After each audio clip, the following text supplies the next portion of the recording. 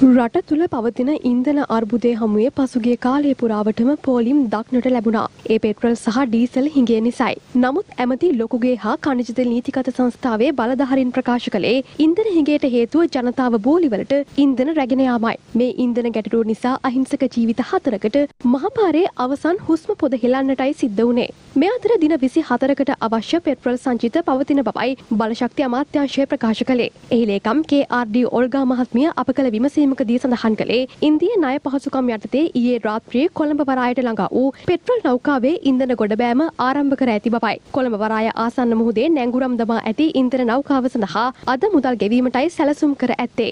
මෙම නෞකාව තුළ ඩීසල් හා ගුවන් යානා ඉන්ධන මෙට්‍රික් ටොන් 20000ක් පවතින බවයි බලශක්ති අමාත්‍යාංශය ප්‍රකාශ කළේ. එසේම ඉන්දිය ණය පහසුකම් යටතේ ඩීසල් මෙට්‍රික් ටොන් 40000ක් රැගත් තවත් නෞකාවක් එළමෙන දෙවනදා කොළඹ වරායට ළඟාවීමට නියමිතයි.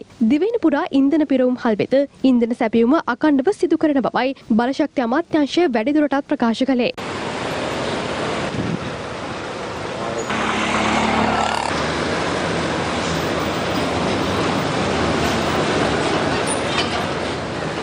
අදත් අද උදේ 6 ඉඳලා බෙදුම් කටයුතු කරගෙන යනවා. ඒ කටයුතු කරගෙන යනකොට අපි තීන්දුවක් අරගත්තා කොළඹ නගරයට හැමදාම උදේට සෑම ෂෙඩ් එකකටම ඩීසල් බවුසරයකුයි පෙට්‍රල් බවුසරයකුයි අරින්න. ඒ වගේම හැන්දෑවේ දෙක තුන වෙනකොට තව වාරක් එකට අරින්න. දැන් මට උදේ කතා කරාම සමහර තැන් වලින් තෙල් රිටර්න් වෙලා ඇවිල්ලා තියෙනවා තෙල් ගබඩාවල තියෙනවා. ඒකම කොළඹ නගරේ භූමි තෙල් තියෙන පිරෝම් පොල් අඩුයි. ඒ හැම පිරෝම් පොලකටම භූමි තෙල් බවුසරයකුත් අපි අරින්න. ඒ අක්කම මම අද උදේවරු පාන්දර 6ට විතර චෙක් කරා ගාල්ල මාතර කුරුණෑගල අනුරාධපුරේ සරසබිවුන හපුතලේ මඩකලපේ අපි අරපු තෙල් තොග තාම තියෙනවා. හැබැයි අද හෙට වෙනකොට අපි නැවතත් තවත් රේල්වෙන් තෙල් තොග අරිනවා ඒ භෝගි ඒවා ටැංකිය වලට දාගෙන භෝගි කොළඹට ආපු ගමන් තව රවුමක් කරනවා. ඒ හින්දා මේ සති දෙක තුන තෙල් බෙදා හැරීමේදී මේ ප්‍රශ්න ඉවර වෙන්නේ නැහැ. කෙසේ වෙතත් අද දිනේදීත් ඉන්ධන පෝලිම් දක්නට ලැබුණා.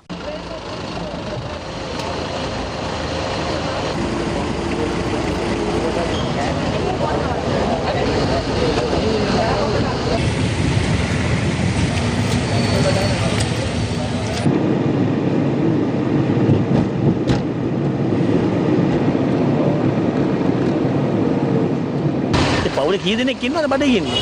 ඔය තියලා එන්න පුළුවන්ද අපිට? සියලුම පක්ෂයකදලා යහපතක් කරන්න මේ මහජනයාට. ඔහොම දුක් විඳින්න තියන්න බෑ.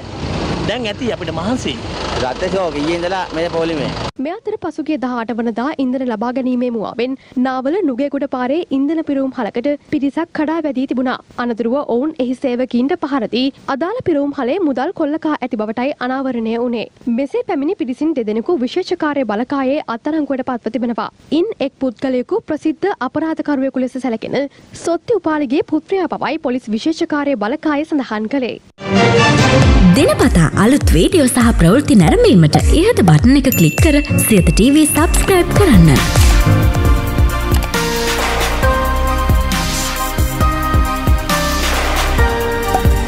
අලුත් වීඩියෝ ගැන මුලින්ම දැනගන්න මෙම සීනුව කලික් කරන්න.